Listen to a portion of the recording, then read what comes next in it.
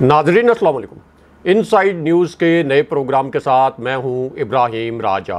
और आज हम आपको नवाज़ शरीफ की सऊदी अरेबिया में तारीखी रसवाई, परवाज का रुख मोड़ने एयरपोर्ट पर नवाज़ शरीफ के साथ किए गए बदतरीन सलूक। जद्दा से वायरल होने वाली नवाज़ शरीफ की रसवाई पर मबनी एक तबाहकुन किस्म की वीडियो, यानी एक ऐसी वीडियो जिसने सोशल मीडिया पर सबसे बड़ा तूफ़ान खड़ा कर दिया। इसी वीडियो पर अब मरियम नवाज़ कहीं रोपोश हो गई हैं। शहबाज शरीफ के पास भी इस वीडियो का कोई जवाब नहीं और पूरी नून लीग इस एक वीडियो पर शर्मसार नज़र आती है। अब इसी पूरी सूरत हाल में आर्मी चीफ जना आसिम मुनीर के एक हंगामी फैसले, एक आला तरीन इजलास में, जो कि आला तरीन सतह का फौजी इजलास है, इसमें क्या ऐसा फैसला किया गया जिसने शहबाज शरीफ की वजारत उज़मा को अमला ख़त्म कर दिया? कौमी असम्बली की तहलील चीफ जस्टिस के एक हंगामी हुक्मनामे, यानी अफ्तार के बाद एक तहरीरी हंगामी हुक्मनामे, जिसने दो वज्रा को नाहल कर दिया। आठ रुकनी बेंच के तारीखी फैसले, एक लार्जर बेंच के तारीखी और इंतहाई अहम फैसले, गवर्नर स्टेट बैंक की तलबी डी जी आई एस आई के मुतलिक एक ताज़ा तरीन और बहुत बड़े इंकशाफ अवतार के बाद जजिस कॉलोनी से आने वाली एक हैरान कन किस्म की वीडियो, यानी वो जजिस कॉलोनी, जहाँ चीफ जस्टिस साहब की रिहाशगाह है, वो जजिस कॉलोनी, जहाँ सुप्रीम कोर्ट के जज साहिबान रहते हैं। अब अवतार के बाद इसी जजिस कॉलोनी से आने वाली एक हैरान कन किस्म की वीडियो, इस वीडियो में नज़र आने वाले दोनों किरदारों के नाम आपको बताते हैं। इन दोनों किरदारों के चेहरे आपको दिखाते हैं। इन दोनों में से एक किरदार ऐसा है जिसका चेहरा आपका जाना पहचाना है। एक किरदार ऐसा है जो नस्बता अननोन है, लेकिन हम आपको इन दोनों किरदारों के चेहरे दिखाते हैं। दोनों किरदारों के नाम भी आपको बताते हैं। इस पूरी सिचुएशन में शहबाज शरीफ को दी गई एक शटअप कॉल और इमरान खान साहब के एक नए और बड़े सरप्राइज़ के मतलब तीन बड़ी खबरों और दो हैरान कन वाकयात की अंदरूनी कहानी सुनाते हैं। सबसे पहले आपको D G I S I general Nadeem Anjum के मुतलिक एक बहुत बड़ी खबर से आगाह करते हैं। ये खबर शहबाज शरीफ के इस्तीफे की तारीख से जुड़ी हुई है। ये एक बहुत बड़ी ब्रेकिंग न्यूज़ है। एक ताज़ा तरीन खबर है। इस खबर के तीन नुकात आपको मुख्तसरन बताते हैं कि शहबाज शरीफ किस तारीख को उनके इस्तीफे के मुतलिक ये एक बहुत बड़ी डेवलपमेंट हुई। अब डी जी आई एस आई से जुड़ी इस खबर के पहले नुक्ते में ये बताया गया कि शहबाज शरीफ के फ़ौरन और हंगामी इस्तीफे की तारीख तय कर ली गई। इस बात पर इतफाक हो गया कि शहबाज शरीफ अब किस दिन इस्तीफ़ा देंगे, उसके बाद ये भी तय कर लिया गया कि वफाक में जो निगरान हुकूमत आएगी, वफाक में निगरान वजी अजम लाने का जो तरीक़ाकार होगा, ये तरीक़ाकार और इसकी शराइ क्या होंगी और ये तरीक़ाकार किस तरीके से मरलावार आगे बढ़ेगा। उसके बाद इस बात पर भी एग्रीमेंट हो गया कि वफाक में निगरान हुकूमत किस तारीख को बनेगी। इस खबर के दूसरे नुक्ते में यह बताया गया कि शहबाज शरीफ के इस्तीफ़े की तारीख के मुतलिक यानी फौरी इस्तीफ़े की तारीख के मुतलिक एक हफ़्ते के अंदर इस्तीफ़े की तारीख के मुतलिक पीटीआई के रहनुमाओं को आगाह किया गया। उसके बाद पीटीआई के यही रहनमा इमरान खान साहब के पास पहुँचे। इमरान खान साहब से पीटीआई के इन रहनुमाओं ने मशावरत की और फिर इमरान खान साहब को भी कन्वे कर दिया गया कि शहबाज शरीफ एक हफ़्ते के अंदर मुस्ताफ़ी हो जाएँगे और शहबाज शरीफ के इस्तीफ़े पर इतफाक हो गया। उसके बाद इमरान खान साहब को ये भी कन्वे किया गया कि निगरान हुकूमत लाने की तारीख तय कर ली गई। और ये जो पूरी डेवलपमेंट है, ये D G I S I general Nadeem Anjum की जेर निगरानी हो रही थी। अब इसी खबर के मुताबिक ये जो पूरा फार्मूला था, ये असल में जी एच क्यू ने बनाया कि शहबाज शरीफ किस दिन मुस्ताफ़ी होंगे, किस दिन निगरान वजी अजम लाया जाएगा, और फिर निगरान हुकूमत किस तरीके से इमरान खान साहब की मशावरत से और शहबाज शरीफ की मशावरत से लाई जाएगी। अब इसी खबर के तीसरे नुक्ते में, जो कि डी जी आई एस आई से जुड़ी हुई है, इस खबर के तीसरे नुक्ते में ये कहा गया कि शहबाज शरीफ के फौरी इस्तीफे की तारीख जी एच क्यू की एक ताकतवर तरीन शख्सियत की मौजूदगी में बताई गई। यानी एक आला फौजी शख्सियत इस मीटिंग में मौजूद थी, जहाँ पर शहबाज शरीफ के फौरी इस्तीफे की तारीख तय की गई। इस मीटिंग में पीटीआई की जानब से शाह महमूद कुरैशी मौजूद थे। इसी मीटिंग में पीपल्स पार्टी की जानब से या पीडीएम की जानब से राजा परवेज अशरफ मौजूद थे, जो इस वक्त स्पीकर कौमी असम्बली हैं। और इसी तरह नून लीग के ऐसे रहनमा जो नवाज़ शरीफ के बहुत करीब समझे जाते हैं, यानी अयाज सादिक, वो भी इस मीटिंग में शिरकत कर रहे थे। और इस मीटिंग में जी एच क्यू का एक ताकतवर तरीन नुमाइंदा भी मौजूद था। अब जी एच क्यू की इस ताकतवर शख्सियत की मौजूदगी में अयाज सादिक ने यह बताया कि शहबाज शरीफ ने एक हफ़्ते के अंदर इस्तीफ़ा देने का हतमी फैसला कर लिया है और शहबाज शरीफ ने अपने इस्तीफ़े पर दस्तखत भी कर दिए हैं। अब इसी खबर के चौथे नुक्ते में यह बताया गया कि D G I S I general Nadeem Anjum की जेर निगरानी शहबाज शरीफ के इस्तीफ़े का ये जो पूरा अमल था, इसमें जी एच क्यू की इसी ताकतवर शख्सियत ने यह गारंटी दी। जी एच क्यू से जुड़े इस ताकतवर तरीन नुमाइंदे ने यह जमानत दी कि इस फार्मूले पर हर सूरत में अमल दरामद होगा फ़ौर निगरान हुकूमत का क्याम होगा और फिर जब निगरान हुकूमत आएगी तो वो कोई छः माह, आठ माह या बारह माह में इलेक्शन नहीं करवाएगी, बल्कि नब्बे दिन के अंदर कौमी असम्बली का इलेक्शन करवाया जाएगा। उसके बाद इसी खबर के चौथे नुक्ते में ये बताया गया कि नवाज़ शरीफ भी शहबाज शरीफ के इस्तीफे पर रजामंद हो गए। नवाज़ शरीफ को एक हंगामी पैगाम पहुँचाया गया। ये पैगाम जी एच क्यू की जानब से नवाज़ शरीफ तक कन्वे किया गया और उसके बाद नवाज़ शरीफ ने मशावरत की अपने करीबी लोगों से और फिर वो भी तय हो गए, वो भी इस बात पर रजामंद हो गए कि ठीक है, शहबाज शरीफ एक हफ़्ते के अंदर मुस्ताफ़ी हो जाएँगे। अब डी जी आई एस आई के मुतलिक इसी खबर के पाँचवें नुक्ते में ये बताया गया कि शहबाज शरीफ ने अपने इस्तीफ़े के मुतलिक अलविदाई जो तकरीर थी, ये तकरीर भी लिखवा ली। बाकायदा इस इस्तीफ़े पर सिग्नेचर कर दिए गए। और ये जो सिग्नेचर वाला मामला है, ये भी पीटीआई के रहनुमाओं से शेयर किया गया। और पीटीआई के रहनुमाओं को बताया गया, शाह महमूद कुरैशी को बताया गया कि शहबाज शरीफ अब इस्तीफ़ा देने के बाद अपनी अलविदाई तकरीर करने वाले हैं।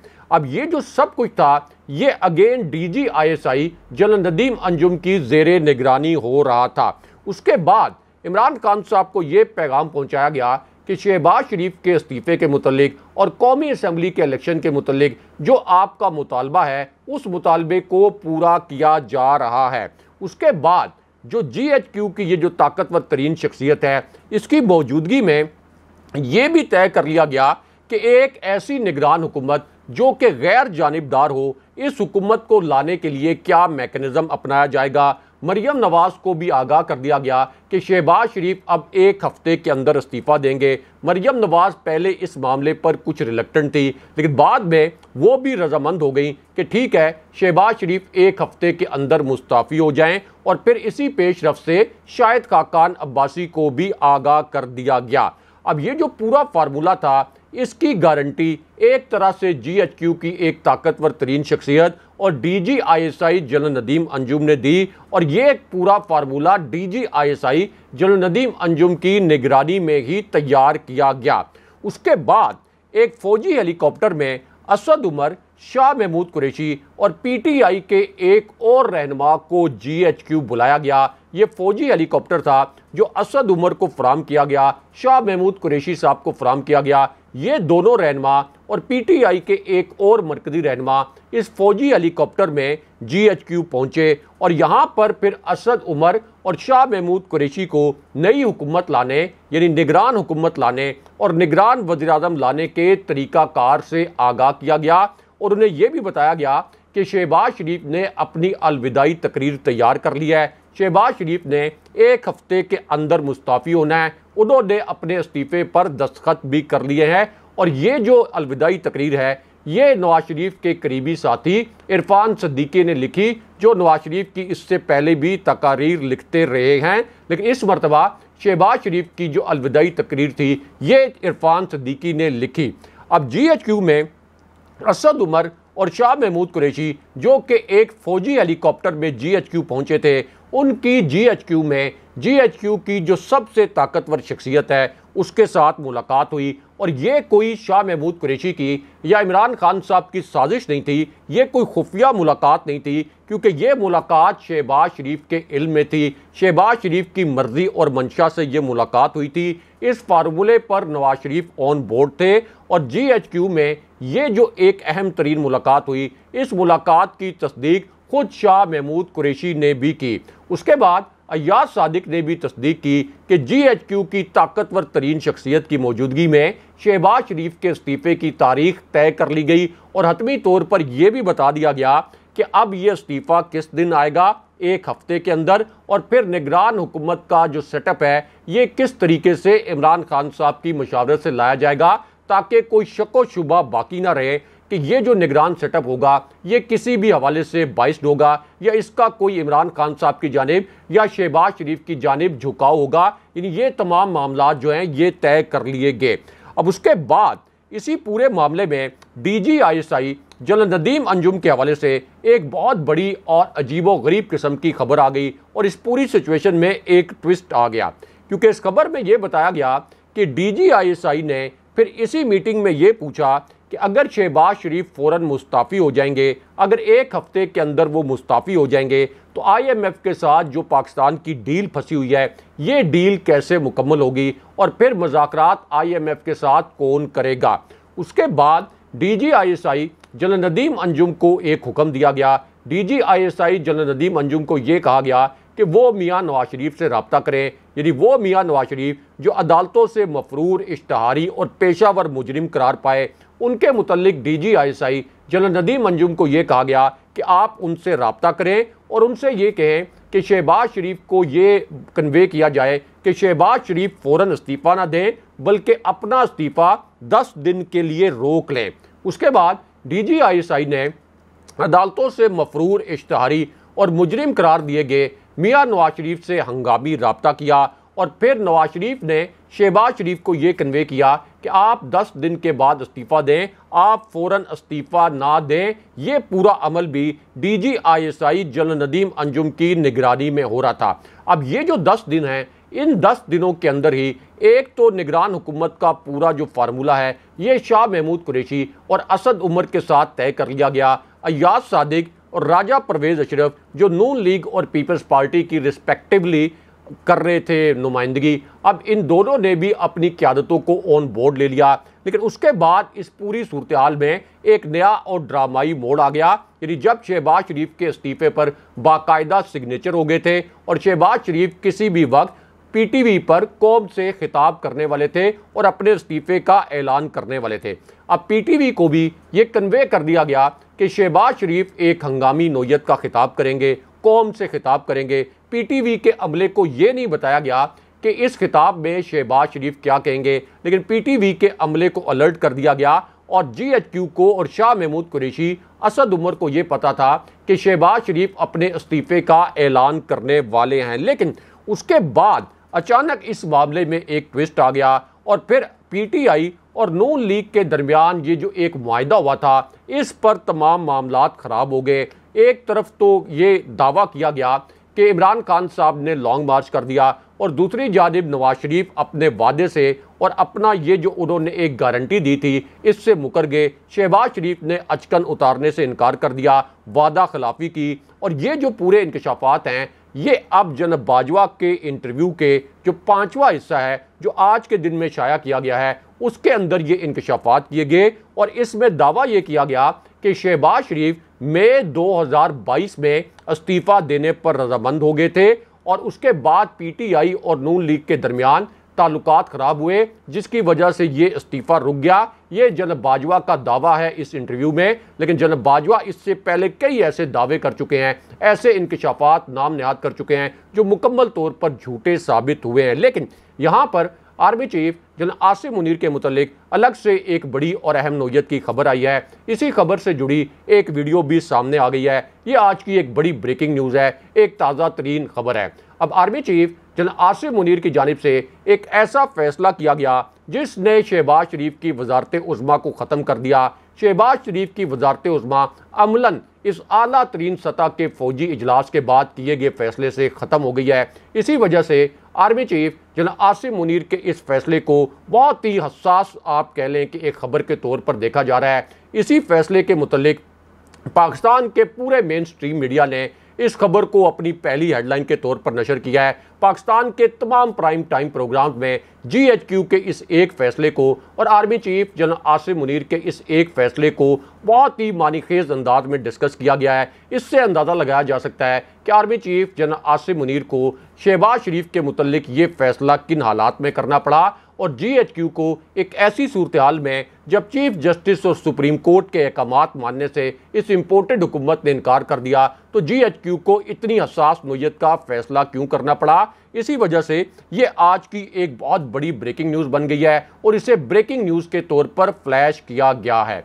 अब army chief general Asim Munir के फैसले से जुड़ी ये खबर, एन उस वक्त आई जब सुप्रीम कोर्ट के आठ रुकनी बेंच के फैसले के मुतलिक एक बहुत बड़ी ब्रेकिंग न्यूज़ आ गई। एक हंगामी हुक्मनामा चीफ जस्टिस साहब की जानब से जारी कर दिया गया।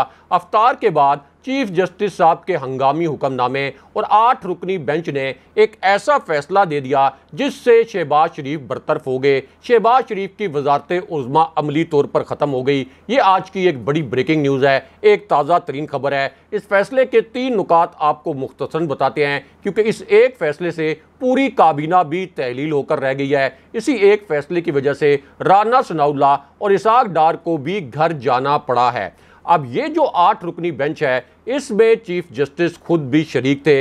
इसी बेंच का हिस्सा जस्टिस एजाजुल एहसन भी हैं, जस्टिस मुनीब अख्तर भी इस बेंच का हिस्सा हैं। इसके अलावा जस्टिस मुजाहिर नकवी, जस्टिस मोहम्मद अली मज़र और जस्टिस आयशा मलिक भी इसी बेंच का हिस्सा हैं और साथ ही जस्टिस अजहर रिजवी और जस्टिस शाहिद वईद को भी इस बेंच का हिस्सा बनाया गया। अब ये जो बेंच है, ये एक लार्जर बेंच है, आठ रुकनी बेंच है। इस वक्त सुप्रीम कोर्ट में कुल मिलाकर पंद्रह जज साहिबान हैं। इन पंद्रह जज साहिबान में से चीफ जस्टिस को मिलाकर आठ जज साहिबान ऐसे हैं जो इस वक्त आइन के साथ खड़े हैं। ये ऐसे जज साहिबान हैं जो कि चीफ जस्टिस साहब के साथ खड़े हैं। दूसरी जानब, सुप्रीम कोर्ट के पंद्रह जज साहिबान में से सात जज ऐसे हैं जो बाज़ायर पी डी एम के मौक़ के साथ खड़े हैं। लेकिन अब इन आठ जज साहिबान ने एक ऐसा हंगामी फैसला दिया है जिससे शहबाज शरीफ की वजारत उज़मा ख़त्म हो गई। ये फैसला अब से कुछ देर पहले जारी किया गया। इस फैसले के तीन नुकात आपको मुख्तसरन बताते हैं।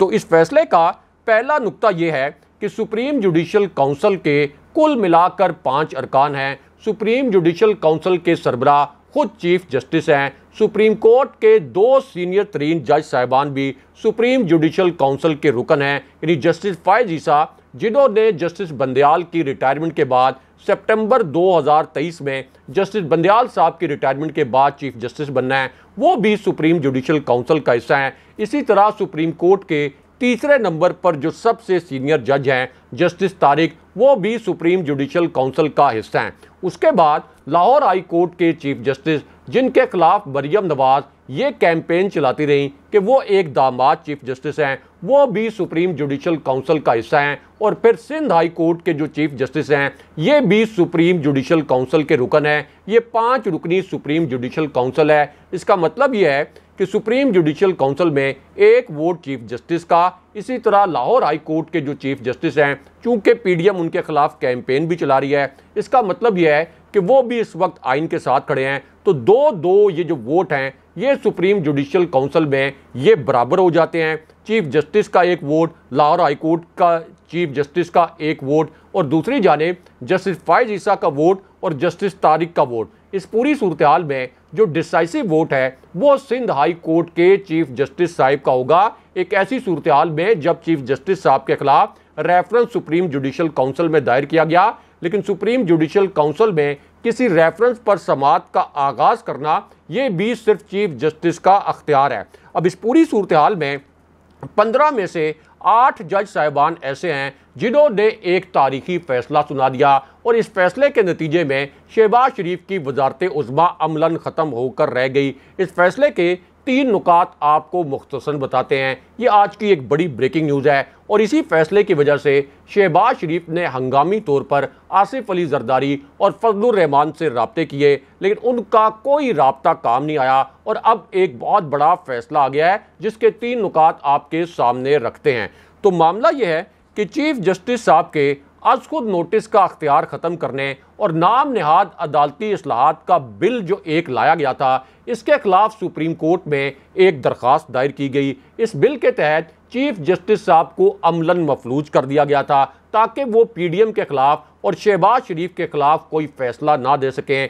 अब इस बिल के खिलाफ जो दरखास्तें हैं, ये समात के लिए मुकर की गई हैं। चीफ जस्टिस साहब की सरबराही में आठ रुकनी बेंच तश्कील दिया गया है। इन दरखास्तों पर कल समात होगी और ये जो आठ रुकनी बेंच है, ये आठ जज साहिबान, वही जज साहिबान हैं जो इस वक्त आइन के साथ खड़े हैं, जिन्होंने चीफ जस्टिस के खिलाफ बगावत नहीं की। इसका मतलब यह है कि अब आठ सिफर से चीफ जस्टिस के अख्तियार ख़त्म करने का जो एक नाम नहाद जाली बिल पास किया गया था, इस बिल को उठाकर अदालत से बाहर फेंक दिया जाएगा। इस बिल को मुस्तरद कर दिया जाएगा और आठ सिफर से पीडीएम के मुँह पर एक और सियासी कालक मली जाएगी। लेकिन यहाँ पर आर्मी चीफ जो आसिम मुनीर के मुतलिक अलग से एक बड़ी और अहम नोयत की खबर आई है। इसी खबर से जुड़ी अब एक वीडियो भी सामने आ गई है और इस एक फैसले ने army chief general Asim Munir और जीएचक्यू के एक फैसले ने अमलन शहबाज शरीफ की वजारत उज़मा ख़त्म कर दी है। अब यह खबर एंड उस वक्त आई जब चीफ जस्टिस ऑफ़ पाकिस्तान का एक ऐसा हंगामी और तहरीरी फैसला जारी हो गया जिसने शहबाज शरीफ को बरतरफ कर दिया। इस फैसले ने शहबाज शरीफ को नहल कर दिया। ये तहरीरी हुक्मनामा पूरे शरीफ खानदान के लिए तबाहकुन साबित हुआ। ये आज की एक बहुत बड़ी ब्रेकिंग न्यूज़ है। इस हुक्मनामे के तीन नुकात आपको मुख्तसरन बताते हैं। अब इस हंगामी हुक्मनामे के पहले नुक्ते में ये लिखा गया कि इलेक्शन कमीशन ने सुप्रीम कोर्ट में एक रिपोर्ट जमा कराई। इस रिपोर्ट में यह कहा गया कि वजारत ख़जाना को सुप्रीम कोर्ट ने 21 अरब रुपए के फंड जारी करने का हुक्म दिया था, लेकिन वजारत ख़जाना ने इलेक्शन कमीशन को इलेक्शन कराने के लिए 21 अरब रुपए के फंड्स जारी नहीं किए। लेकिन उसके बाद इस फैसले का दूसरा नुकता शहबाज शरीफ की वजारत उज़मा को ख़त्म कर गया। इस दूसरे नुकते में कहा गया कि इलेक्शन कमीशन ने अपनी रिपोर्ट में सुप्रीम कोर्ट को यह भी बताया कि वजारत दाखिला ने इलेक्शन के लिए सिक्योरिटी फराम नहीं की। इलेक्शन के लिए तकरीबन साढ़े तीन लाख एहलकारों की ज़रूरत थी, लेकिन इलेक्शन कमीशन को यह कन्वे किया गया कि हम आपको सिर्फ़ सत्तर हज़ार एहलकार फराम कर सकते हैं इलेक्शन की सिक्योरिटी के लिए। लेकिन उसके बाद इस फैसले का तीसरा नुकता ऐसा था जिसने शहबाज शरीफ को एक टर्म के लिए, यानी पाँच साल के लिए नाहल कर दिया। अब इस तीसरे नुक्ते में यह कहा गया कि अटॉर्नी जनरल और सेक्रेटरी खजाना अदालत में पेश हों। चीफ जस्टिस ऑफ़ पाकिस्तान ने गवर्नर स्टेट बैंक और सेक्रेटरी इलेक्शन कमीशन को भी नोटिस जारी कर दिया। और फिर अब इस पूरी सूरत हाल में ये भी कहा गया कि इलेक्शन कमीशन की रिपोर्ट के मुताबिक वफाकी हुकूमत ने इलेक्शन के लिए फंड फ्राहम नहीं किए।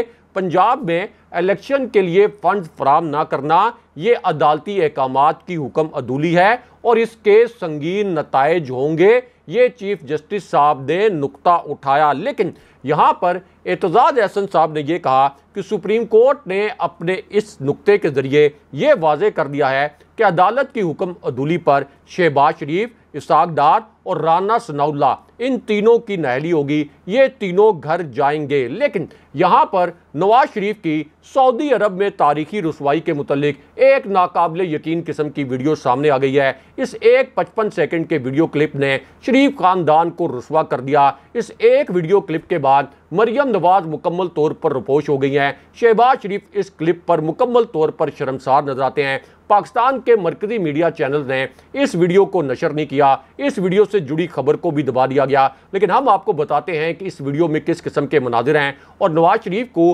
किस तरह की तारीखी रसवाई का सामना करना पड़ा और किस तरीके से नवाज़ शरीफ की परवाज़ अमलन रुक गई है और जद्दा एयरपोर्ट के ऊपर उनके साथ क्या कुछ हुआ, इस वीडियो में नज़र आने वाले जो मनाजिर हैं, उनके मुतलिक आपको मुख्तसरन बताते हैं। अब ये वीडियो एन उस वक्त सामने आई जब शरीफ खानदान ने दावा ये किया था कि उन्हें सऊदी अरेबिया शाही खानदान ने बुलाया है। शाही खानदान की दावत पर मियाँ नवाज़ शरीफ और मरियम नवाज़ सऊदी अरेबिया में उम्र की अदायगी के लिए जा रहे हैं और ये कहा गया कि शाही हुकाम ही सऊदी अरेबिया में नवाज़ शरीफ और मरियम नवाज़ का इस्तबाल करेंगे और उन्हें स्टेट प्रोटोकॉल दिया जाएगा। लेकिन अब जद्दा एयरपोर्ट से एक तबाहकुन किस्म की वीडियो सामने आ गई है। ये एक ऐसी वीडियो है जिसके मुतलिक आप कह सकते हैं कि पूरे शरीफ ख़ानदान के लिए रसवाई का बायस बन गई है। इसी वजह से शरीफ ख़ानदान ने मीडिया मैनेजमेंट करते हुए इस वीडियो को पाकिस्तान के मरकज़ी न्यूज़ चैनल्स पर नशर नहीं होने दिया।